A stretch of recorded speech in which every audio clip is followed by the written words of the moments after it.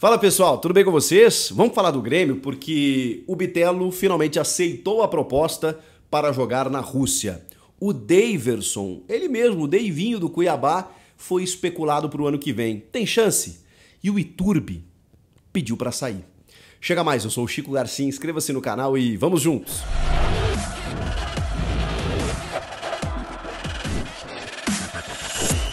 Bora atualizar as notícias do Grêmio, porque sim, Bitelo, depois de muita negociação, a gente vem trazendo as informações aqui, eh, decidiu aceitar a proposta e jogar na Rússia. Não tem ou não teria como ser diferente, embora o mercado russo não fosse o principal objetivo do Bitelo, aos 23 para 24 anos, com dois empresários ali, né, um atual, o outro que vai assumir é, é, a carreira do jogador no ano que vem, né? Forçando ali por conta né, de uma negociação interessante, um valor que o Grêmio considera legal, são uh, é, 10 milhões de euros por 100%, o Grêmio tem 70%, o Grêmio está tentando negociar com o Cascavel de, de teoricamente vender 80, né, para embolsar 8 milhões de euros e deixar eh, os outros 20 para que o Cascavel seja ressarcido. O Grêmio está. Eh, acho que é só por conta desses detalhes finais que o anúncio não foi formalizado. Mas a grande notícia nesse momento é que o Bitelo aceitou a proposta. É uma proposta considerável, a gente já trouxe valores aqui, 700 mil reais livres, mais 45 mil reais por vitória, é, várias regalias, moradia paga pelo clube, carro à disposição,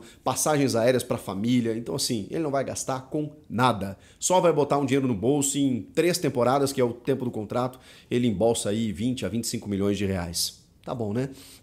Então, para fazer o pé de meia, para fazer a sua independência e depois até escolher onde jogar, no Brasil, é, em outro mercado, enfim, ele vai ter a capacidade de, inclusive, é, utilizar o Dinamo de Moscou para uma porta de entrada na Europa e, quem sabe, até é, conseguir uma nova negociação.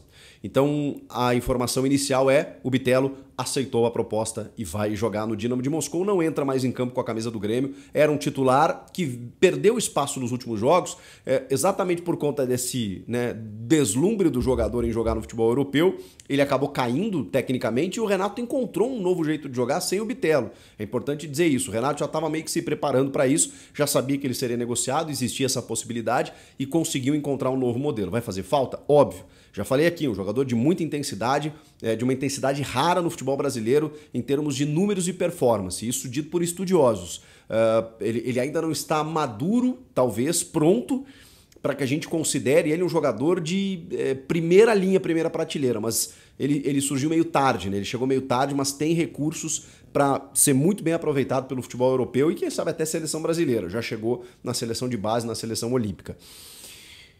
Tem um jogador que ele chama muito atenção, né? Por onde passa, que é o Daverson. O Daverson jogou contra o Grêmio pelo Cuiabá e foi muito legal, porque ele, ele criou uma relação com a torcida ali, né?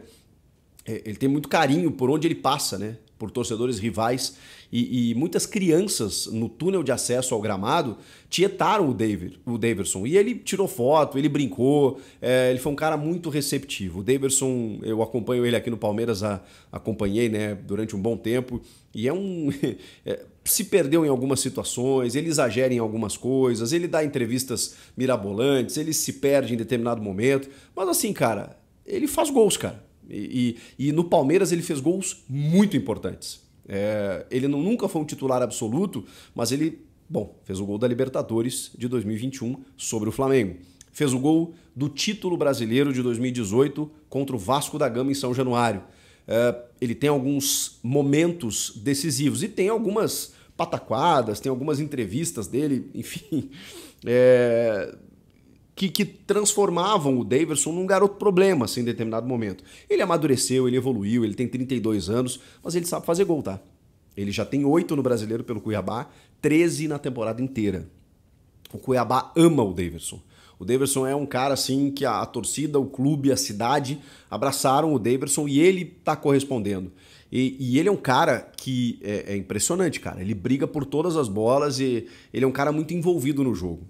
Às vezes ele dá uma desligada, mas eu acho que menos, tá? Essa temporada tem sido muito interessante da gente observar o Daverson além do folclore. É, e ele tem representado em números, pelo que a gente está vendo. A questão é, é por que está se colocando o Daverson na mira do Grêmio? Porque o Grêmio está projetando 2024 com alguns reforços pontuais, depois de ter formado um elenco do zero, e também porque vai perder, inevitavelmente, o Luizito Soares, que tem contrato só até o final do ano. Não estou dizendo, e ninguém está dizendo isso, que o Daverson seria o substituto do Luiz Soares, né? Olha a que ponto chegamos. Mas uh, é óbvio que o Grêmio vai buscar um, um, dito pelo próprio presidente Alberto Guerra, um jogador para substituir o Soares no projeto, que seria um nome internacional, que seria uma grande estrela, enfim. Não sei se o Grêmio vai conseguir, mas vai, vai tentar. Se falou no Bruno Henrique do Flamengo, que também não sei, não é a mesma posição, mas não sei se suplantaria a carência do torcedor, do associado e tudo mais, que né, demandou energia, tempo, dinheiro, investimento é, para acompanhar o Soares e, e abraçar o Grêmio nessa causa nesse ano. Uh, mas o Daverson, primeiro, é um centroavante, que pode daqui a pouco ser uma alternativa a um cara gigantesco que, que, o Grêmio traga, ou até mesmo daqui a pouco né, ele possa ser o titular da equipe e o Grêmio trazendo um outro jogador que não seja necessariamente para a função do Soares. Acho que está tudo certo. É, o Daverson ele mudou o conceito do próprio Renato Portaluppi em relação a ele. Pelas informações de bastidores, o Renato não era muito afeito do Daverson. O Grêmio chegou a sondar esse jogador é, em outro momento, no início do ano, e o Renato nunca foi lá muito fã. O Renato mudou de ideia, tá? Então, se depender do Renato, dependendo do molde do negócio, o Grêmio poderia fazer uma oferta. Nesse momento, todas as partes estão negando porque não tem nada realmente. O, o, o Daverson só apareceu numa lista prévia de jogadores que possam interessar. É só isso que tem nesse momento. Até porque existe uma dificuldade. O Daverson ganha 600 mil reais e tem contrato é, por mais um ano com, com o Cuiabá. Então o Cuiabá não vai é, é, facilitar a saída do Daverson. O Grêmio vai ter que pagar um salário altíssimo né, para um jogador que a gente nem sabe se seria titular é, só pelo carisma e tudo mais, e acho que também pelos gols, pela temporada que ele vem fazendo. Mas se você está pensando em Libertadores, em, em ter um, um titular substituto para o Luizito, o Davidson seria uma alternativa. Acho que é meio caro você fazer esse investimento e ter que pagar ainda o Cuiabá para tirar o jogador de lá. Então, assim, nesse momento não tem nada. O que existe é conversa, interesse, ele tá numa lista, ele tá jogando bem, ele tem uma relação bacana. E o Rodrigo Eli, zagueiro do Grêmio, que concedeu entrevista nessa terça-feira, é, terça-feira no CT Luiz Carvalho, jogou com ele no Alavés. É, por duas temporadas. Uma delas ele até estava machucado e tudo mais. E ele fala que ele é padrinho de casamento do, do, é, do Daverson, né? Que eles são compadres, que eles são amigos. E ele vendeu o peixe do, do, amigo, né? Dizendo, pô, esse cara se entrega o tempo inteiro, seria muito legal vê-lo aqui. Aí o Grêmio tem um trunfo no seu elenco, além do PP, né? Não vamos esquecer o PP, que dividia quarto com o Daverson no Cuiabá no ano passado. É, o, o, PP jogava lá e tem uma relação de amizade com o Daverson. O Daverson é um cara muito querido. Então, assim, é, possibilidade? Tá. Mas não tem nada concreto e é natural que surjam muitas coisas até o final da temporada e, e, e, nesse momento todos neguem também porque não tem nada decidido, o campeonato está em andamento e você não tem como fazer a transferência agora. O que existe é só interesse. E falar sobre o Iturbe, o José Manuel Iturbe, o paraguaio naturalizado argentino, o contrário, né? Argentino naturalizado paraguaio, porque ele é de seleção de base da Argentina, disputa a seleção uh, paraguaia no final da carreira, que chegou meio que num negócio de ocasião. O Renato não foi muito afeito a essa contratação, mas a diretoria entendeu, ele estava saindo da Grécia, livre de mercado e tudo mais, chega com um salário mais baixo, com cláusulas a serem batidas para uma renovação automática em 2024 e o cara não jogou. Ele tem três partidas, eh, nenhuma como titular absoluto, não consegue jogar, tá fora de forma, não desempenha nos treinos. O Renato não tem confiança nele e dificilmente eh, vai permanecer, até porque essas cláusulas de renovação automática, nenhuma delas foram atingidas ainda. E aí tem uma informação do meu amigo Rafael Pfeiffer de que ele, inclusive, sinalizou ao seu empresário que procure uma proposta. Só que essa proposta, é, é, ela pode acontecer inclusive agora, nessa janela, porque o futebol mexicano que já mostrou interesse por ele, tem a janela fechando na quarta-feira, dia 13. É, nesta quarta-feira. Então tem até amanhã, né? Ou até esta quarta-feira, não sei quando você está vendo esse vídeo, para que o Grêmio formalize ou para que o Grêmio receba uma proposta pelo Iturbe e não vai dificultar. Pelas informações de bastidores, o Grêmio também não está é, muito satisfeito com essa negociação. Enfim, não rolou, não casou. É, ele está percebendo que não também, então ele ele está procurando alguma barca para ele para ele se enfiar e sair.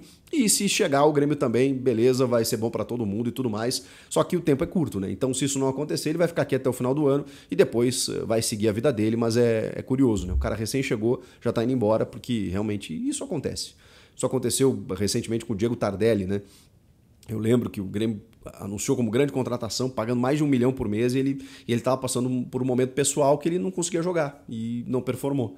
Uh, acontece, né? Às vezes você faz um investimento e, e, e, o cara não adapta, né? Não tem jeito. Mas é isso. O Iturbi uh, pode até ser que fique, mas não vai ser uh, tão aproveitado assim, porque não, não goza de tanto prestígio com o Renato e não tem se dedicado uh, como deveria nos treinamentos também. E, e, a tendência até que ele saia, se não agora, no final da temporada. O que, que vocês acharam disso tudo? Comenta aqui, inscreva-se no canal. Eu volto na próxima. Tchau!